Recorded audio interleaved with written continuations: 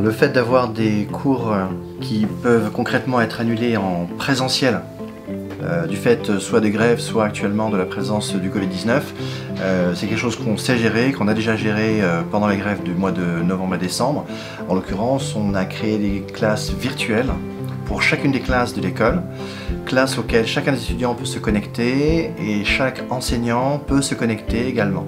L'avantage de ces classes virtuelles, c'est que outre le fait que l'enseignant peut présenter un élément, un document, une vidéo ou partager un fichier de présentation, il peut aussi demander aux étudiants de partager leur propre écran et donc voir ce que fait chacun des étudiants.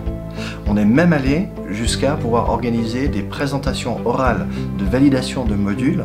Donc c'est quelque chose qui est bien rodé maintenant l'ISCPA et là on va le mettre en place euh, a priori euh, dès ce lundi pour euh, pouvoir malgré tout diminuer l'impact, voire carrément complètement éliminer l'impact de fait d'être cloisonné et de ne pas pouvoir physiquement venir à l'école.